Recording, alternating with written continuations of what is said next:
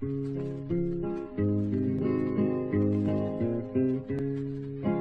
I got a light, boy. Hey, I got a light. Hey, I got a light.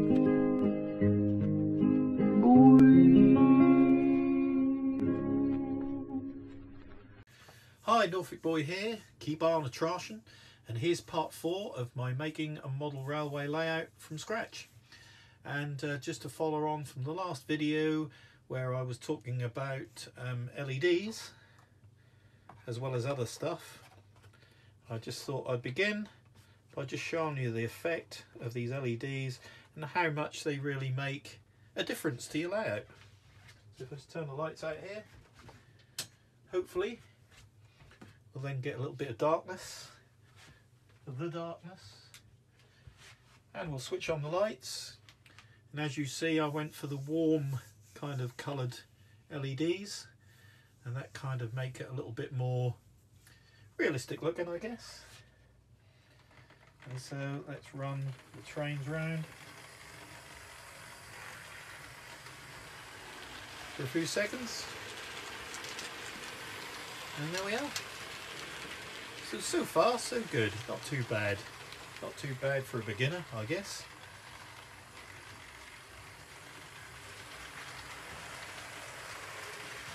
Just bring them into the station.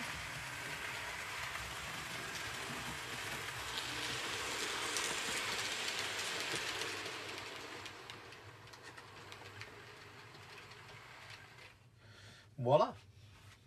Okay. Just a little bit here of what else I've been up to is here is the uh, bridge that I got given luckily but of course you can buy them make them um, also on the website that I mentioned in the last video um, this chap has got one that you can make up from card of a, a bridge walkover an enclosed one actually.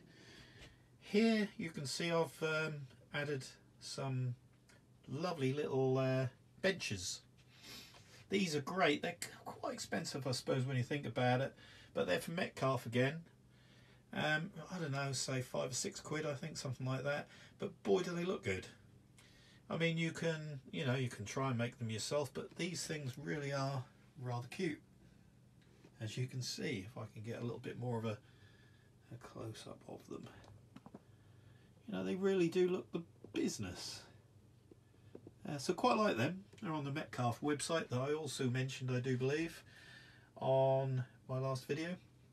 And also I've been messing about making my own bushes um, so around here at the moment you can see these bushes that I made myself from scarring pads.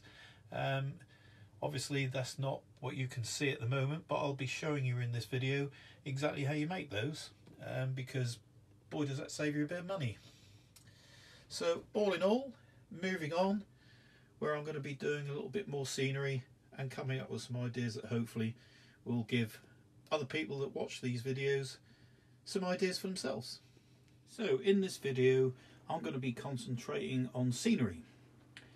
And um, I've had a few ideas that I've found on the internet and also a few ideas of my own. Um, so I'm uh, going to share as many of them as I can and how I did them on this particular episode or video. And um, if you like them then that's grand. You can go ahead and try them yourself. If not I'm sure you can always find other ideas from other people. But this is what I've been up to. And I've been very busy. And what I've actually been doing is I've been building this bridge just over here. As you can see just move him out of the way. So there it is. I mean there's still some work to be done on it but at the moment this is as far as I've got. And I will be going through how I did all of that what materials I made. And here's some a few trees and bushes that I made. Or made to look much better than they were put it that way. And then um, this bush that's running along the side here also I created myself which I will explain how in this episode and this little gizmo here. Now this little gizmo here is based on something that I've seen on the internet that um, I've discovered is rather expensive for what it is. Um, so I decided to make one of my own.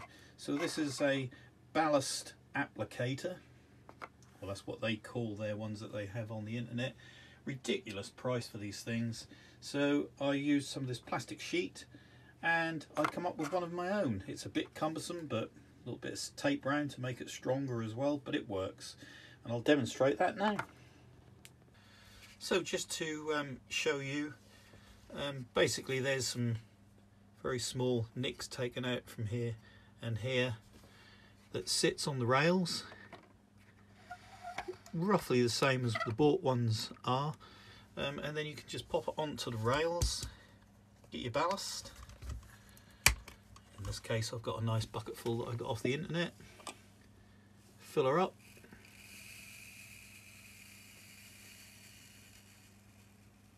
Like so.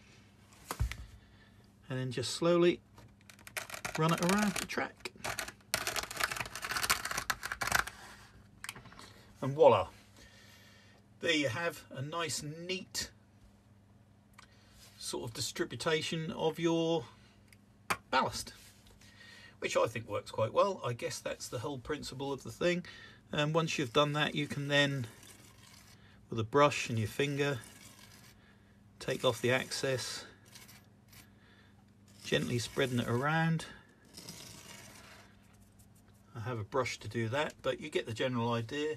And then of course um, after that you can then apply your glue your PVA glue which I'll uh, show you in a minute. And um, wait for it to dry. And there's your ballast done. Okay so with some PVA mixed sort of 50-50 is what I've been using anyway. Um, I've put it in one of these old bottles that I had because um, it's got a nice little nib on there but you can use these little um, squeezy kind of um, applicators that you can um, suck it into and then squirt gently on but this works a little bit quicker. And basically don't be scared of doing this. When I first did this I thought I don't know shoving loads of wet glue all over your track is not much of a good idea but it works. And if you get any on your track it's not that difficult to clean it off.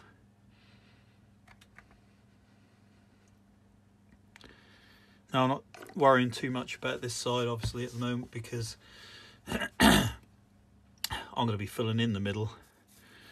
But my glue's a little bit wet really.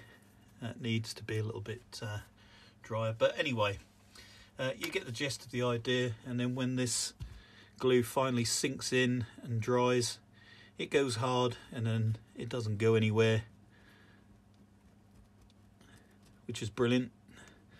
Because the worst thing is is this stuff going all over the place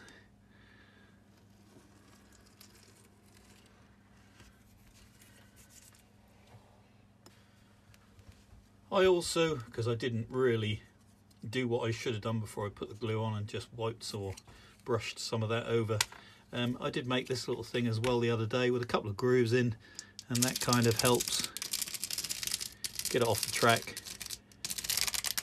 and around. It's not difficult anyway to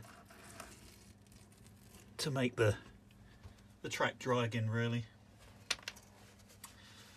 But once that's dried off, you can always use a piece of wet and dry just to run over the track again um, and it'll be fine, absolutely fine. Um, I've done plenty of this now and it all seems to work. So, But of course on the internet there's lots of other people doing this and they'll show you their way of doing it. Some put it on um, with a spray and put it in one of these spray applicators. Uh, but anyway, this method seems to be working for me, so that's the one I've chosen. And if we look over here, where I've done it before, and there it is all hard and settled. So there you go. Okay, so basically all I did really is go on uh, eBay where they sell um, some of these applicators and just really stole the design. stole the design and made the best of what I could out of plastic sheeting. Uh, plastics, I, I, mean, you can buy this stuff on eBay as well um, in different thicknesses and, and what have you. It's it's um, this one's just made out of decent sort of thickness of probably about a mil, I'd say, um, a plastic sheeting, and I put some extra bits around the edges, um, which were just bent, not cut in individual pieces, just to make it a bit stronger. Another piece of tape round. It's it's just something that uh, I just knocked together really to do the same job that you have to pay a fair bit of money to buy one with. Um, having said that, if you've got the money, then why not buy one? But if not, make one yourself. Um, if you don't want to be spending too much money, you'd rather be spending your money elsewhere on other bits and pieces for your railway. Okay, so making your own hedges, I should say. I've been saying bushes, but hedges is much better. Um, you will need some scat for this, um, but let's face it, this is fairly cheap on eBay. And then for about £2, if not less than that, sometimes from the pound shop, you can buy these scarring pads, which are absolutely perfect for bushes, although not to begin with until you've done something to them. So I'm just showing you here, even though it's rather messy, is to just shove some scatter in a bowl or a container, put the glue all over your piece of scarring pad that you've cut to whatever length you require. As I said, bit messy. Use your finger to shove it all over the place. Have a bowl of hot water or something somewhere to wash your hands with after. Something to wipe your your surface that you're doing this over.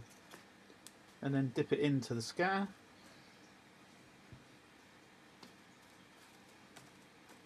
Now I'm not the only one that's doing, doing this on the internet. There's somebody else that shows how to do this. This is where I got the idea from. So um, I think it's a great idea. It's a it's a quick and easy idea, and it certainly works. So so make sure you get it all over as much as you can. Um, more glue, the better, really.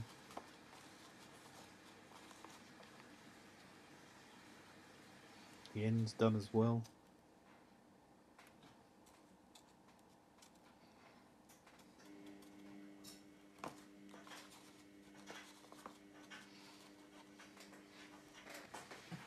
And voila you have some neat bushes, hedges, whatever you want to call them. Of course you can make them taller if you want, you can even stick two together and make them a bit wider, but they do come out rather effective.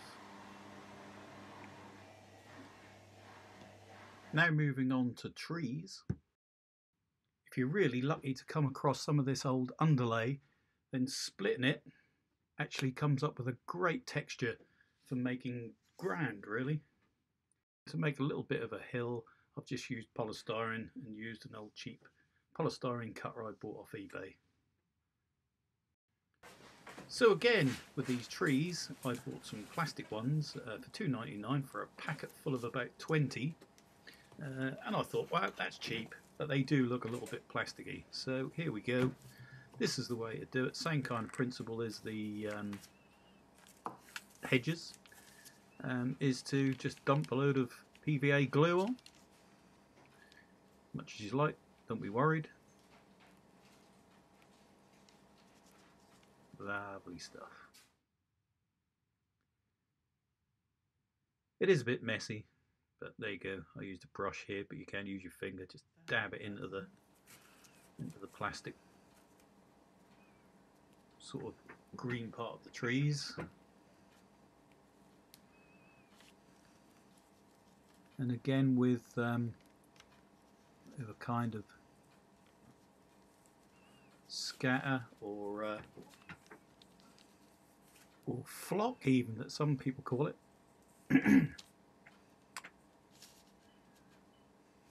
You can just um, pour on top of this tree and it'll make it look a little bit more full and exciting rather than this horrible shiny plastic on them dump plenty on don't do what I'm doing here and put it all over the glue you just dropped on the uh, paper, mind you. you do it somewhere where it dries so you can pour it back off and into the uh, canister.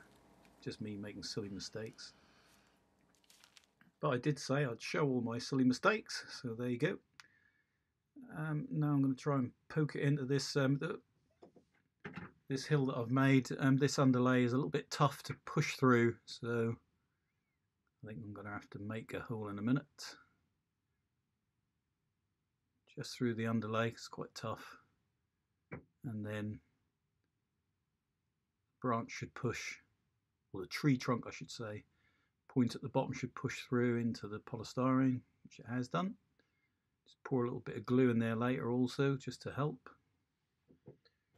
I'll try and retrieve some of this scatter again and pour it back into uh, into my pot. Here it is again, done the proper way, but speeded up. Benny Hill style.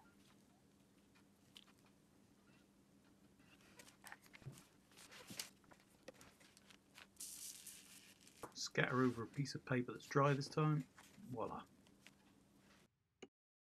And now we have some trees.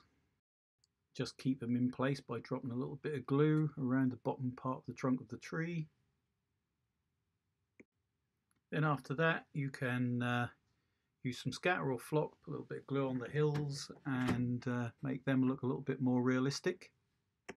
Then I put a little bit of matte brown paint around the trunk of the trees just to uh, take away the plastic part of it and make it look a little bit more realistic. And here they are again, the end result.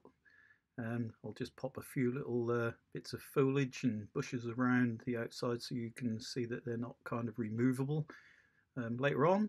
Um, obviously, if you can't get a hold of any of this underlay, you can make hills out of plenty of other stuff. Um, put a little bit of paper over your your polystyrene or any other kind of material you think might look good.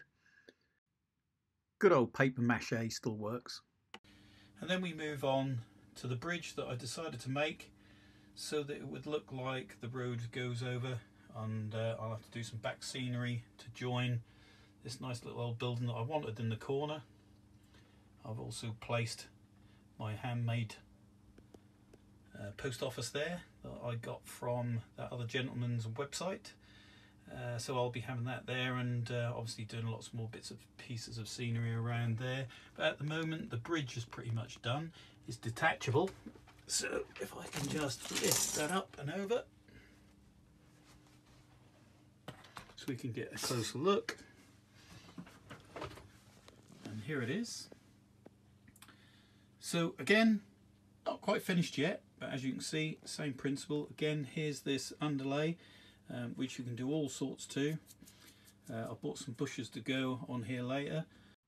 So I started this by downloading the portal that um, is on this website I'm showing the link to below. Um, the free printable kits that that nice gentleman has give away for free.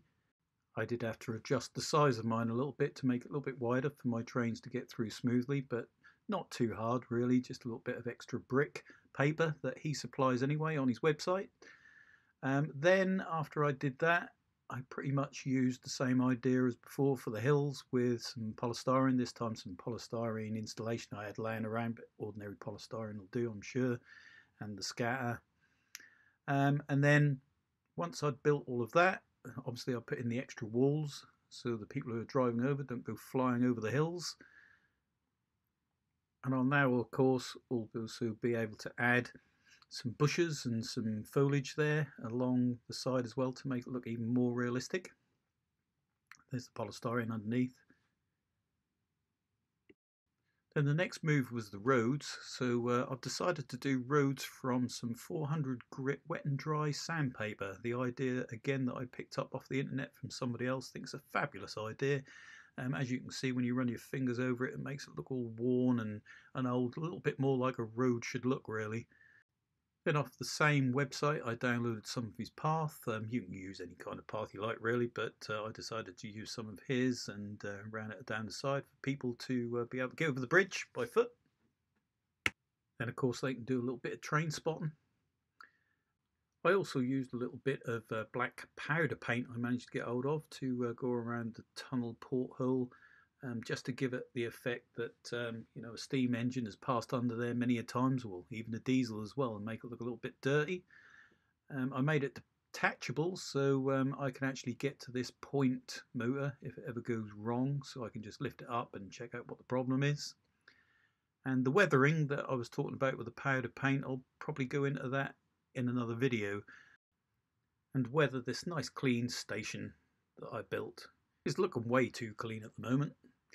So that's it really. Thank you very much for watching this um, latest video of mine. I hope I've given you some good ideas. If not, I'm sure you'll be able to find some more great ideas all over the web. In the meantime, I'm going to keep trying to come up with some more ideas. Um, if you'd like to leave any comments or subscribe, please do. And I'll see you in the next video.